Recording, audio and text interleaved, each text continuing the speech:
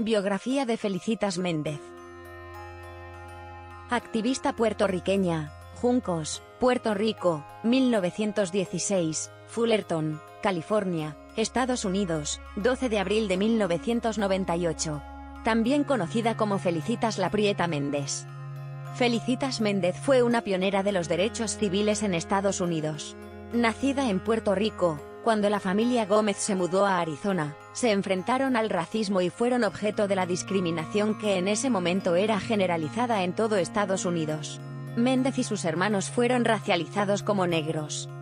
Cuando tenía 12 años, la familia se mudó al sur de California para trabajar en el campo, donde fueron racializados como mexicanos.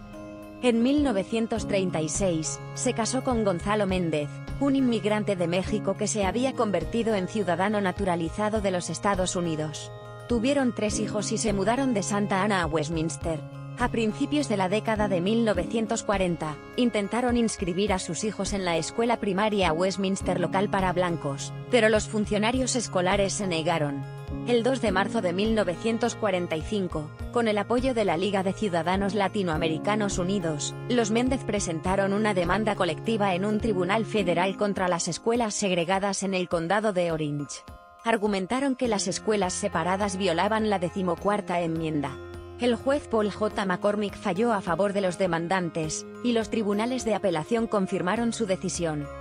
El éxito del caso Méndez contra Westminster convirtió a California en el primer estado de la nación en poner fin a la segregación en la escuela, y allanó el camino para el más conocido Brown contra Board of Education, la Junta de Educación, siete años después, que pondría fin a la segregación escolar en todo el país.